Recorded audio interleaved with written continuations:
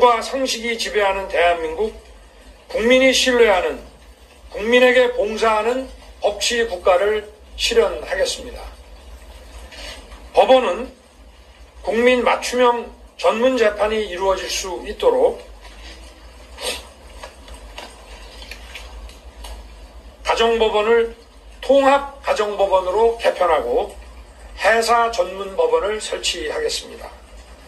통합 가정법원은 아동, 소년, 가정의 분쟁을 원스톱으로 해결함으로써 국민에게 마치 종합병원처럼 치료 사법을 제공할 것입니다. 해사 전문 법원은 해사 분쟁을 전문적으로 해결함으로써 국민에게 세계 최고의 기업처럼 재판 서비스를 전문적으로 제공할 것입니다.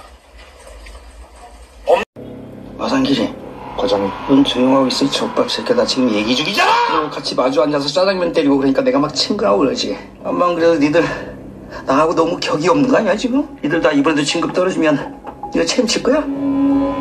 어쩌죠 그래 어차피 뭐 형 동생도 먹었겠다 말을 그냥 이제 편하게 해도 될까요? 아이 그럼요 형님 편하게 해주세요 형님 음, 아, 예.